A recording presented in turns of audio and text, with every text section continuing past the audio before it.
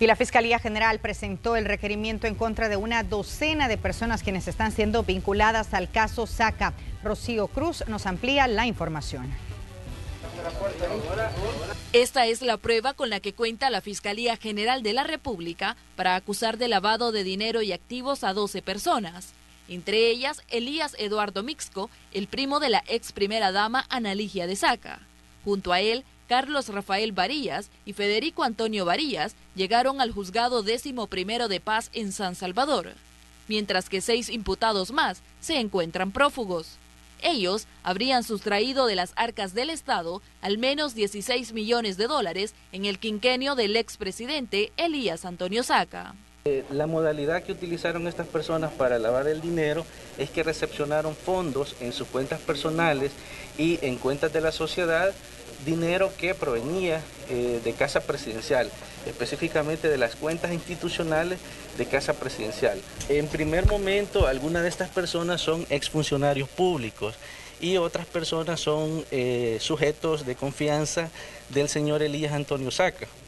El fiscal del caso explicó la situación de cinco personas jurídicas implicadas en este requerimiento. Dentro de las personas jurídicas tenemos a Laboratorios LAFAR, tenemos a Bar Inversiones SADCB, tenemos eh, a la sociedad eh, Saldegro SADCB, eh, la sociedad TF Consultores y también tenemos a la sociedad Intercor. Estas sociedades son creadas para lavar el dinero y también algunas de estas sociedades ya estaban creadas de forma lícita, pero posteriormente fueron utilizadas en acciones ilícitas por los imputados.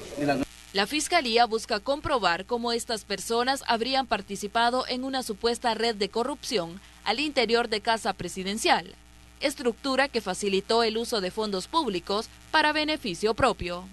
La representación fiscal cuenta con abundante prueba documental. Eh, dentro de esa prueba tenemos un análisis financiero eh, donde se determina la participación de estas personas y el delito cometido. Asimismo también tenemos abundante prueba testimonial. Para el domingo se programó la primera audiencia en su contra y el Ministerio Público está solicitando la detención para todos los implicados en este caso y no descarta pedir que se emita difusión roja para quienes se encuentran prófugos de la justicia.